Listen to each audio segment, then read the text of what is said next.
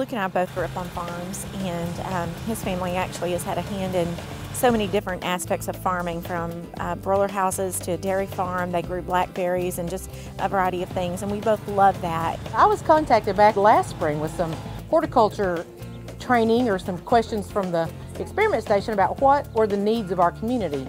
And Deedee actually came to that meeting, and uh, Terry was actually there and they started talking about doing an agritourism enterprise for Polk County. Just through a lot of the U of A education, a lot of the conversations that we've had, um, this is just right up our alley, and we the footprint of our land just lend itself perfectly to um, to being able to put all these things in.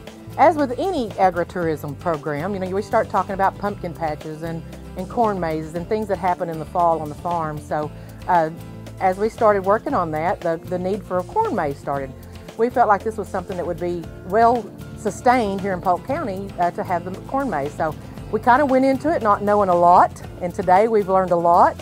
And uh, we've had a we've got about a six acre corn patch that we're cutting a maze into today using GPS and a zero turn mower. So let's just go back down here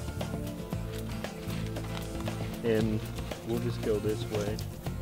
We looked up all kinds of uh, resources. There's a lot of people who charge a lot of money to do a corn maze design, and um, really, the, at the core of this entire operation is the fact that we want to be able to do things on our own.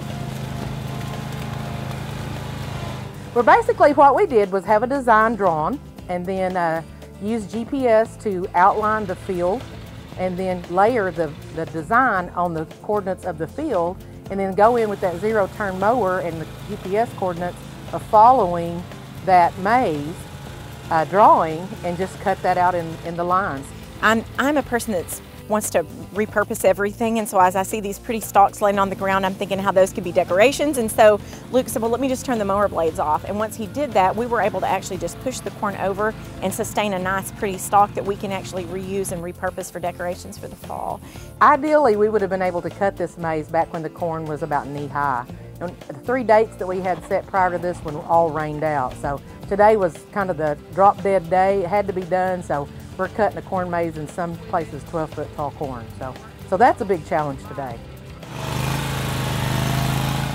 We never really um, hesitated at the challenges because we come from a farming family, but we have such a good resource to the U of A. So those questions that we had, uh, things that we were not familiar with or that we needed education on. We knew that education was readily available. This is something new, so it's very exciting and innovative for our county.